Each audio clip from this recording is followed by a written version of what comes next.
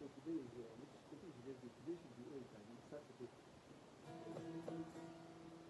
you.